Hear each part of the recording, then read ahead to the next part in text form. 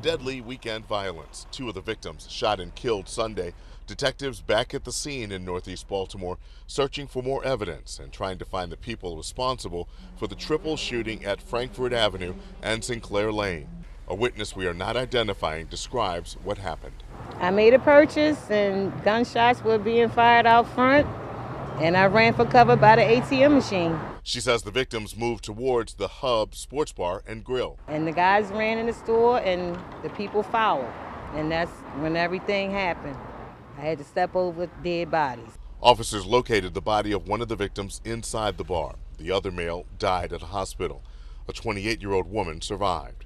Police also say officers were on patrol nearby and reported the shots. There were multiple shooters who um, who were shooting both inside and outside of the convenience store.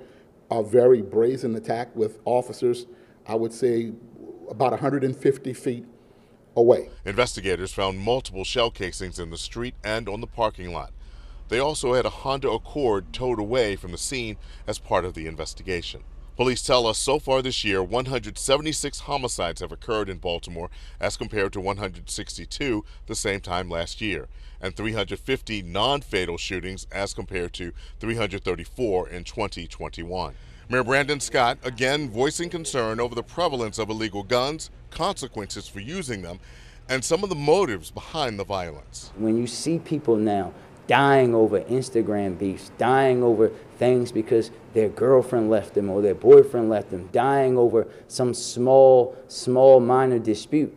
That is something significantly different than we saw in the 90s and the 2000s, where so much of it was connected to what we would call gangs and drugs. Police also tell us they are investigating 24 robberies and over the weekend, they made arrests in a murder, two attempted murders, and a carjacking. Reporting live from downtown Baltimore, Barry Simms, WBAL TV 11 News.